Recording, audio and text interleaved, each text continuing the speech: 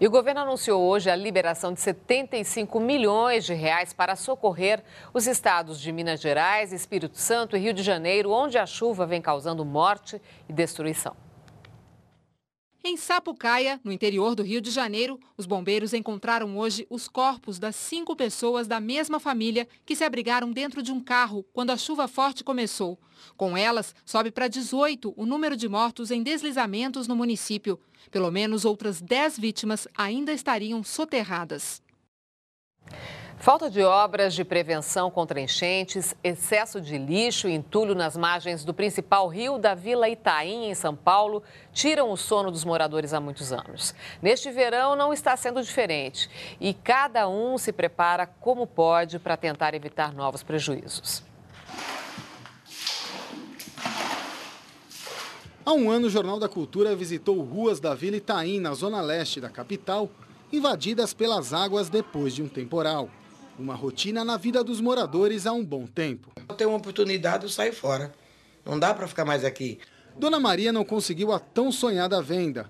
É verdade que neste ano ainda não foi obrigada a conviver com água de enchente dentro de casa, mas nem por isso deixou de se preparar. Olha só, esse quarto aqui já está todo vazio.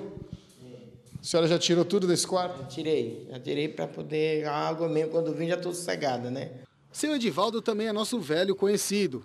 No ano passado, quando estivemos aqui, ele mostrou que para diminuir os prejuízos, colocava os móveis em cima de cadeiras e madeiras. E o receio de que tudo se repita fez com que a estratégia fosse colocada em prática mais uma vez. Aí, está guardada, está guardada pela imputável, no corredor, está tudo no jeito.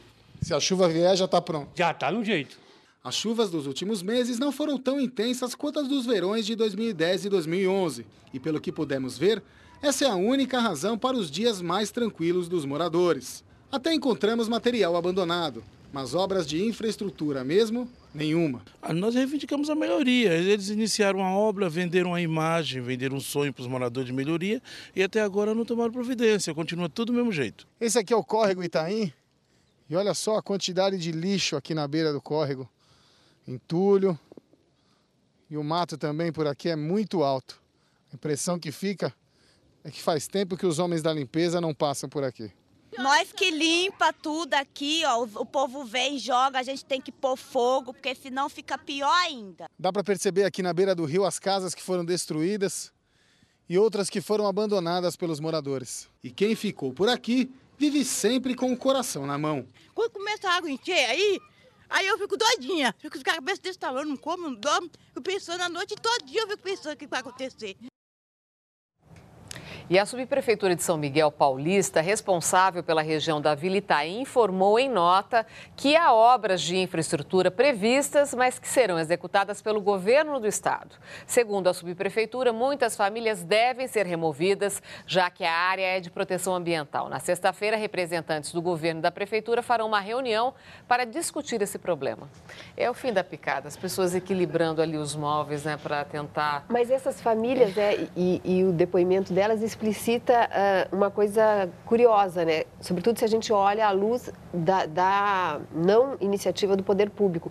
Quer dizer, ao contrário do poder público, eles buscam solução dentro das possibilidades para se prevenir, prevenir, do que pode vir a acontecer. Quer dizer, são pouquíssimas possibilidades, é, não tem recursos, mas usam a criatividade para tentar, digamos assim, diminuir os danos, né? Ao Agora elas moram público. numa várzea de rio, é uma área de proteção permanente, que nunca deveria ter sido habitada, quer dizer, não houve fiscalização, se permitiu que elas morassem lá.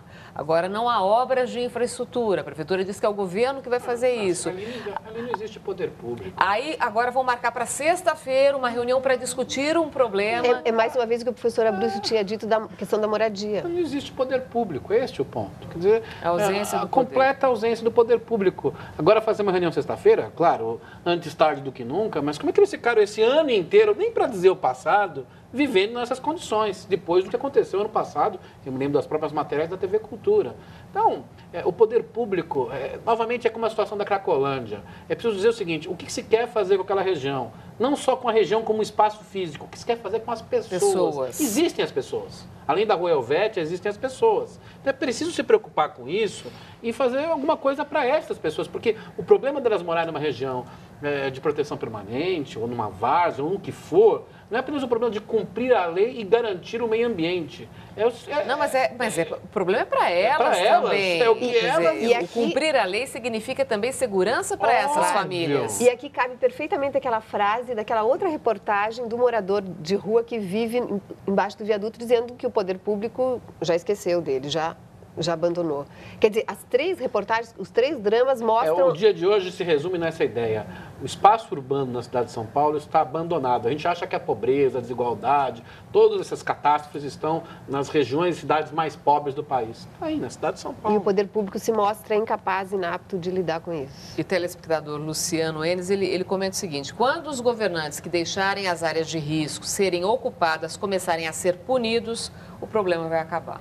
E o que tem que se ter em perspectiva é que é preciso resguardar as vidas humanas. É esse o ponto principal. Essa é a É prioridade, só esse. né? É.